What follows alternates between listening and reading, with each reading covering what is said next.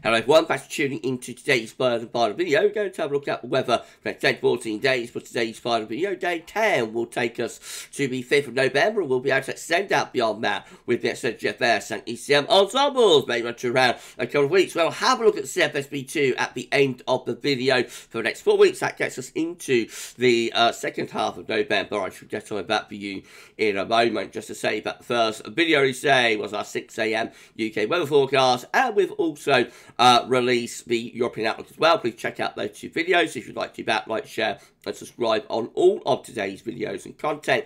And thank you so much, everybody, for doing that for Gav's or Weather Vids. We've got on around 18, 17 or 18 subscribers to get ourselves to 17.1k, get our first 100 within 17,000. So uh, if you could give us a sub, it would be amazing. It would be incredible. We thank you so much for that. And uh, yes, uh, you know, help get us to 17.1k. Thank you so much, everybody. Right, okay, let's start the video then. We're going to begin having a look at the situation with tropical Atlantic. So we now have post-tropical cyclone Tammy, still giving maximum sustained winds of 85 miles per hour.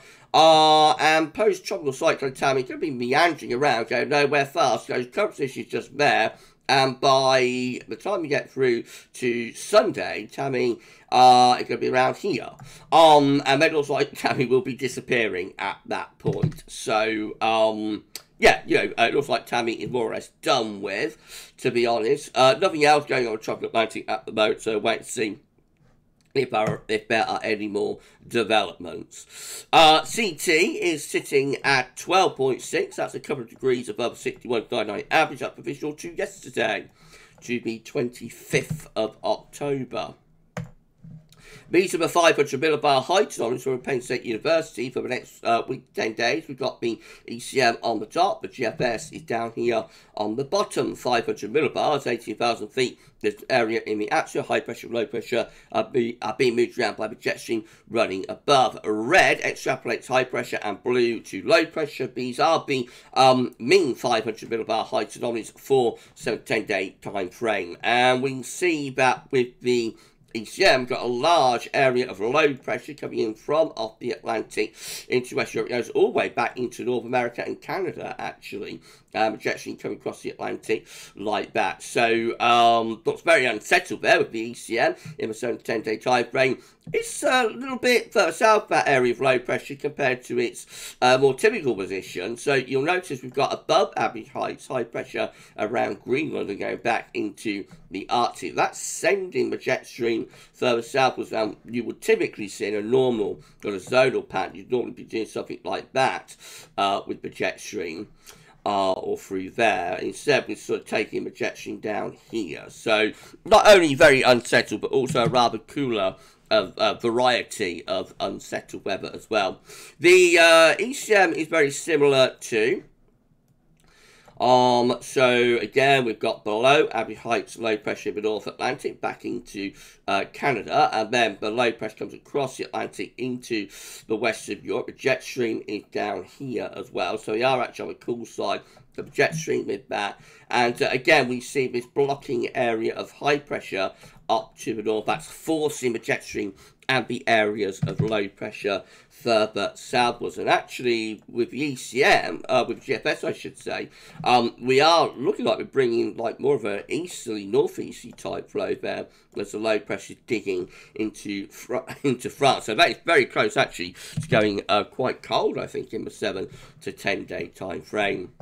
These are the GFS upper air temperature and precipitation ensembles the next couple of weeks. We're at Sheffield today. The red line is the 30-year upper air temperature average for Sheffield. We're starting off around to a little bit above average at the moment, but those upper air temperatures will be sliding through next week. It actually looks like the first week or 10 days or so of November going to become quite cold, to be honest, with below average temperatures uh, being forecast then. So the temperature, I mean, is slipping uh, through next week. Uh, also, we see very unsettled weather as well, so regular precipitation spikes from start to finish, really. So, uh, particularly through next week and into the opening days of November, this window uh, just here from about the 28th to, of, uh, of um, October to around the 5th or the 6th of November, looking really, really unsettled then with uh, some big precipitation spikes. But they carry on actually beyond that too. So looks like the next couple of weeks will be uh, seeing more spells of heavy rain.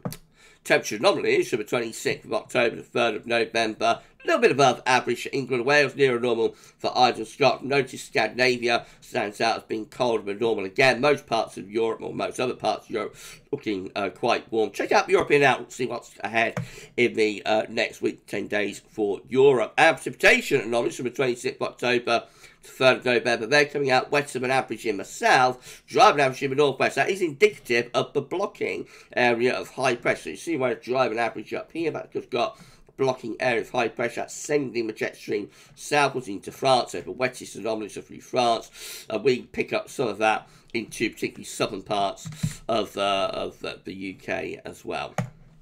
Latest from that from earthnullschool.net shows that we've got low pressure in the Atlantic, deep area of low pressure today, and we're bringing through quite a strong Atlantic flow as well. So uh, the westerlies are returning, and uh, there's more low pressure and wind and rain to come with these westerly winds. Right, let's start going through chart data then, which is the latest UK Met Euro Road. It's looking for midnight on Sunday with an area of low pressure pushing up from the south. That will be bringing heavy rain in with it. Through the early part of next week, again, low pressure will be in the ascendancy. And then by the time we get through to the end of the UK Met Euro, which gets us to Thursday, 2nd of November, a week today, we've got a, a really deepening low in the Atlantic. And that looks like it's about to turn a stormy there through the 2nd of November. Let's pick this up with Icon. Again, we see that uh, we've got low pressure coming up from the south overnight uh, Saturday into Sunday, so it will be an unsettled weekend. And through the early part of next week, low pressure meandering about, bringing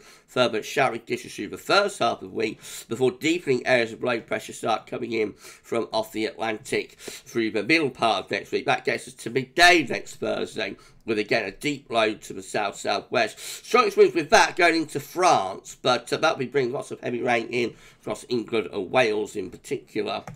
And then we go through to the GFS midnight run. Again, we see a, a low pressure is in control for the weekend, so further showery conditions to come. And then through the early part of next week, you keep low pressure meandering about for this deepening low heads in from the Atlantic Thursday and that brings wet and windy weather particularly focused on the south. But as that pushes through uh, France and southern England into the low coast of Germany that starts to turn wind into more of an easterly or a northeasterly. So as we go into the first weekend of November we saw it on the 500 millibar height anomaly flow chart we've got lots of low pressure here pushing through uh, the low countries and France and Germany etc we've got high pressure still blocking up to the north and to the northeast, and that turns the wind into this northeasterly or easterly, uh, and that could have quite a quite a chill to it. That could be quite cold because it's coming from uh, a pretty long way east, to be honest. So maybe turning rather cold for the first weekend of November, but would still be unsettled, especially the southern and eastern regions with further rain to come. That's the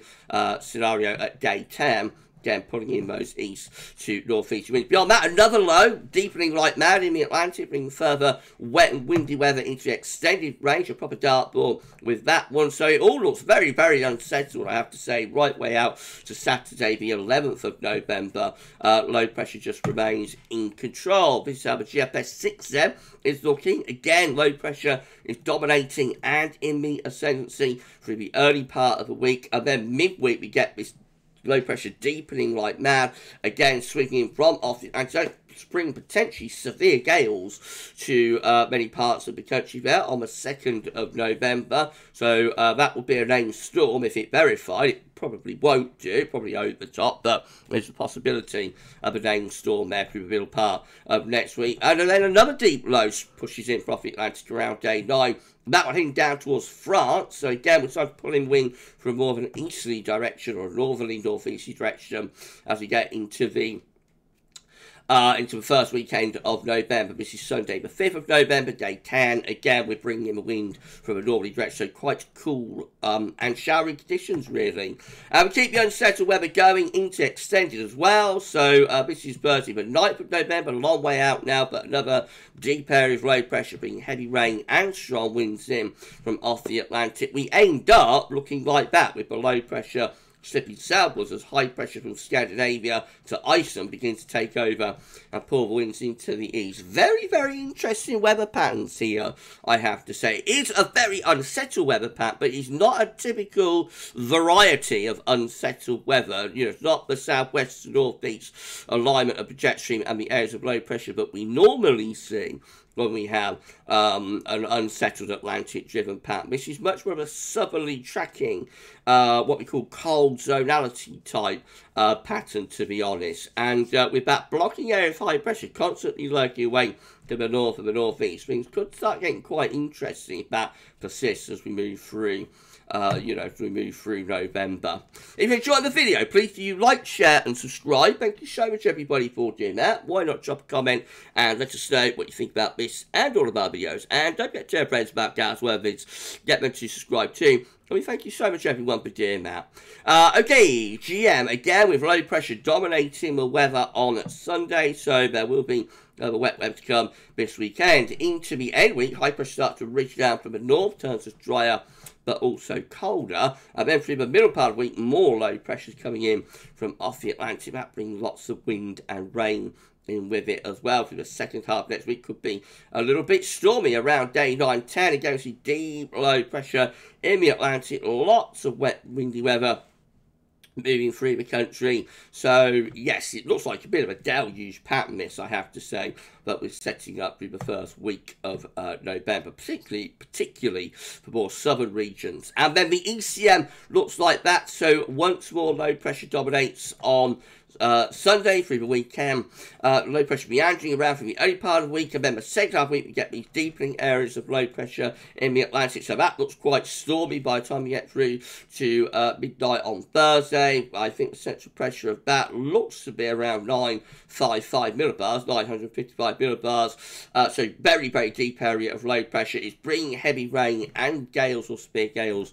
sweeping through the country there. So uh, a really wet and windy, actually quite quite stormy second half to uh, next week with further low pressure meandering around from the Atlantic into Western Europe as we get up towards uh, day 10. No sign of a break in the unsettled weather up to date 10 there with the ECM. This is a precipitation forecast based on that ECM run from Tameteo.com. So showery at the moment. A lot of shower tending, tending to be around the coastal regions, not as much inland actually the next couple of days, but that will change at the weekend as uh, very wet weather comes piling in from the south from Saturday into Sunday, and that particularly focused on England and Wales as well. So that takes into the open next week with further uh, wet weather to come, showery conditions as well. And then the middle second half next week, increasingly wet and windy, low pressure coming in from off the Atlantic, brings severe gales potentially by this time next week, by next Thursday. Could be a little snow mixed in with that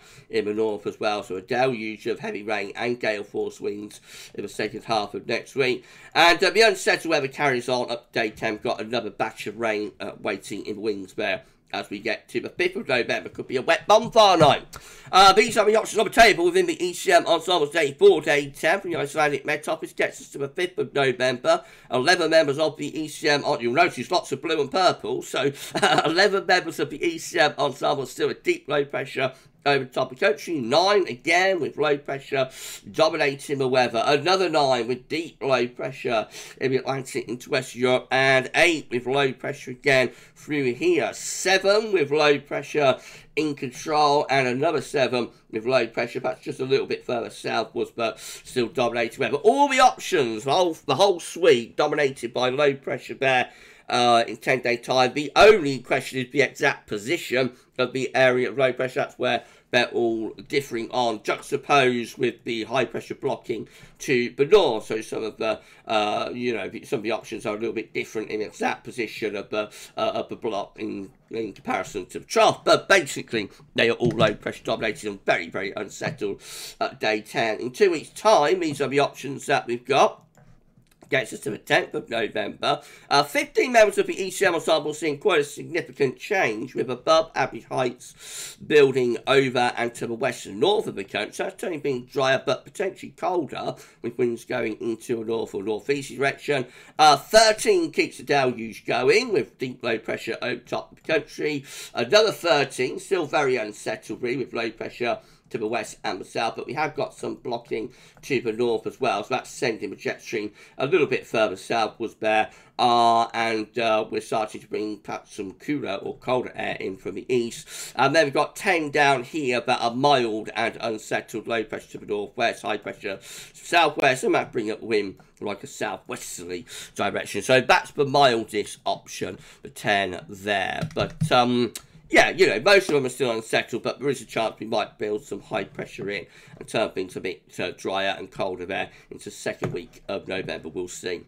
Uh, right, CFS, uh, CFSv2 finally beats a 500 millibar high tonight to break down to week periods. The first week period takes us from the 26th of October to the 1st of November. This next week will be very unsettled with low pressure to the south, high pressure blocking to the north. So very unsettled, but not far away from bringing some quite uh, chilly air from the east and from the northeast as well. Uh, week two, look at this, really unsettled. This is second to the 8th of November. Deep low pressure right over top of the country and in the North Atlantic as well. Oh, uh, I mean, that's uh, just like a deluge type pattern. Week three, W line to the 15th of November. Low pressure still dominating really in the North Atlantic, but high pressure reaching into the southwest. So that could be something a little bit drier to the south, but will be turning milder as well. So the jet stream will be starting to move northwards again.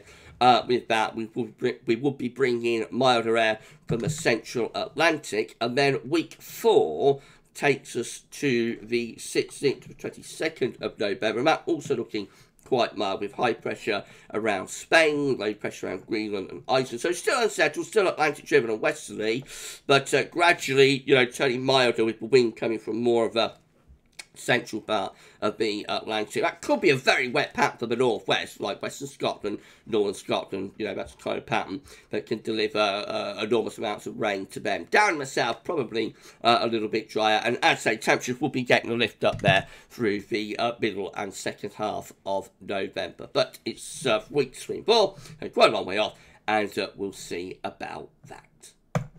Okay, we're done. If you enjoyed the video, please can you like, share, subscribe. Thank you so much everybody for doing that. Don't forget to your friends about Gareth Worthings. Get them to subscribe too. Help get us to 17.1k. And why not drop a comment and let us know what you think about this and all of our videos. Thank you so much everybody for doing that for us. I'll just tell you what's coming up tomorrow. So we're going to we're going to again have the 6 a.m. UK weather forecast. We'll have JMA Friday. There'll be a 10 to 14 day. The ECMWF 42 day uh, forecast for the UK and Ireland will be released tomorrow evening as well, not Saturday morning. Reason for that is that on Saturday we've got a second uh, winter seasonal roundup coming up. So um, the EC42 day is pushed back to Friday, just for one week tomorrow. And um, also we'll be live at 10 p.m. tomorrow evening, so I shall see you live for that one maybe. Uh, but lots of videos to uh, watch before we get to that. You enjoy the rest of your Thursday, and for this one, that's all for now, and thanks for watching.